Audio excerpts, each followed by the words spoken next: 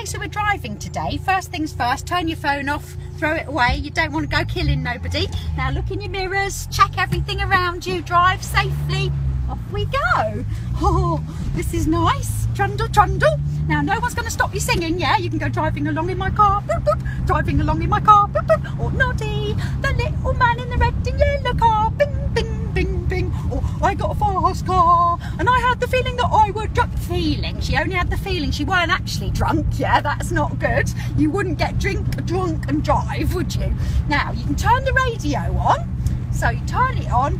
That can also be nice. Oh yeah. Oh oh. A bit of nay nay. That's cool. Round the bend. Round the bend. Oh, oi! Flipping blinking out. Did you see that guy trying to pull out? What do you,